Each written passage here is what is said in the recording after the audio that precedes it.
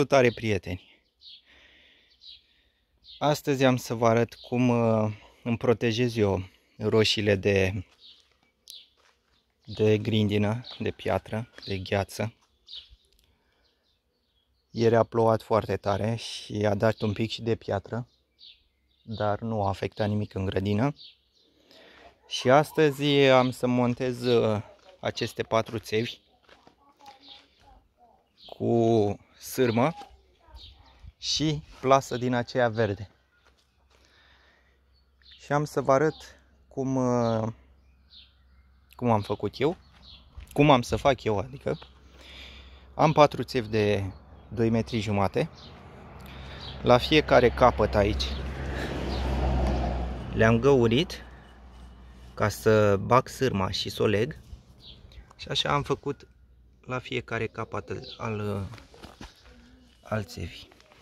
Și acum urmează, aici am roșiile și urmează în acest uh, pătrat, dacă vedeți roșiile sunt puse în sub, sub formă de pătrat, am să pun în fiecare capăt cât o țeavă. Am să o îngrop, după care am să prind uh, sârma de fiecare țeavă, am să fac legătura, după care am să pun uh, uh, acea plasă verde pentru împotriva grindinei. Și acum să-i dăm drumul la treabă.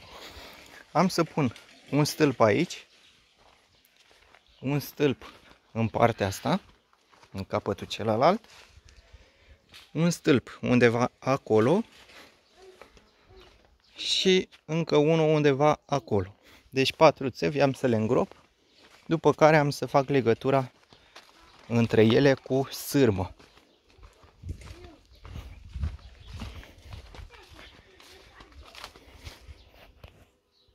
Gata, am montat uh, cele patru țevi. Cam așa arată. Înălțimea este undeva la 2 metri și 10. Am pus-o și pe asta. A intrat foarte bine în pământ pentru că a plouat ieri și pământul este ud. Și aici la fel.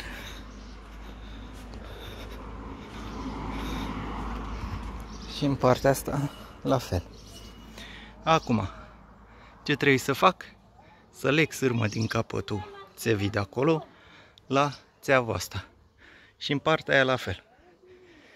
Acum facem chenarul cu sârmă.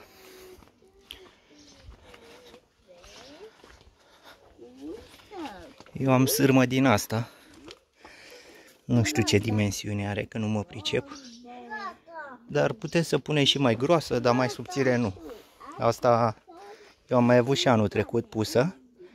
Și a fost foarte rezistent. Deci, cel puțin din asta sau mai groasă, dacă aveți. Nu știu de cât e asta, chiar nu știu de ce să vorbesc prostii.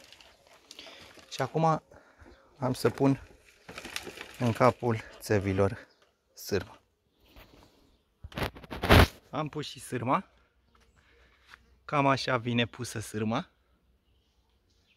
Am făcut uh, un pătrat. Nu știu dacă se vede.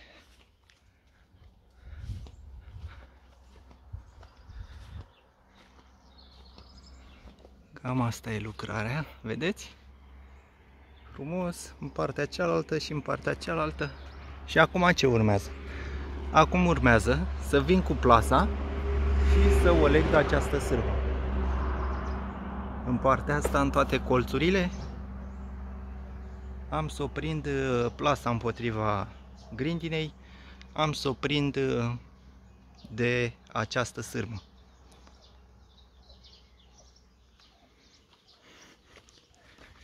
Și acum am să merg să iau plasa și am să vă arăt finalul.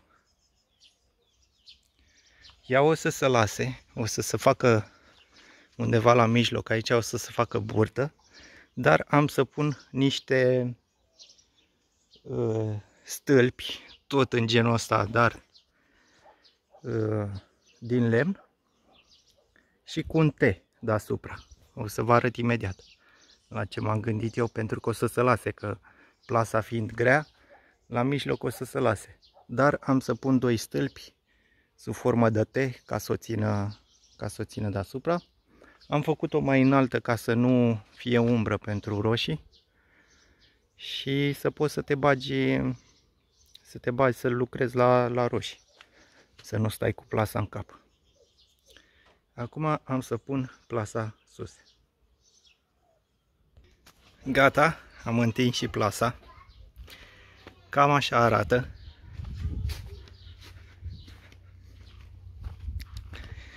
Ă, despre aceste teorii era vorba la mijloc, ca să nu se lase să facă burtă.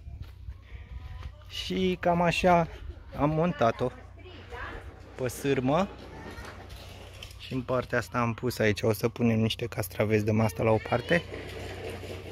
Și s-a întins destul de bine. Și să sperăm că nu va veni grindina să ne distrugă grădina. Cât de cât 90% din uh, roșii sunt protejate. Cam așa e mica mea lucrare cu plasă împotriva grindinei.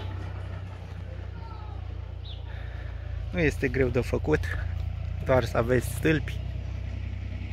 În cazul meu am folosit niște țevi și plasă sârmă ca să puteți să o întindeți pe sârmă.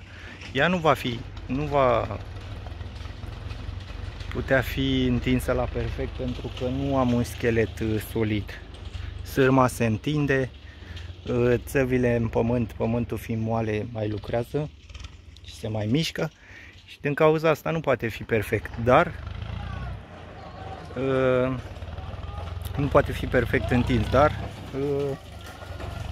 este, este foarte bine așa cum, cum am făcut pentru că protejează roșiile.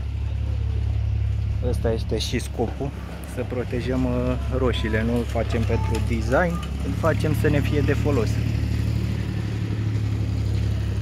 Cam asta este. Sper că v-ați făcut și voi o mică idee dacă sunteți la țară și doriți să vă faceți o astfel de protecție împotriva grindinei cu plasă. Cam așa, cam așa arată. Sper că v-am fost de folos și ne auzim la următorul tutorial.